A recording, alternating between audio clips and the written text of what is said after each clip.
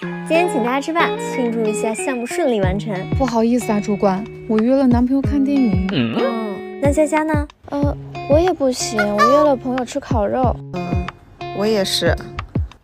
嗯，好吧。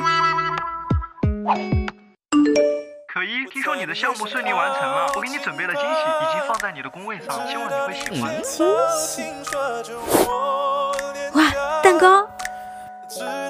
还是我最爱的口味，这么多，我也吃不完。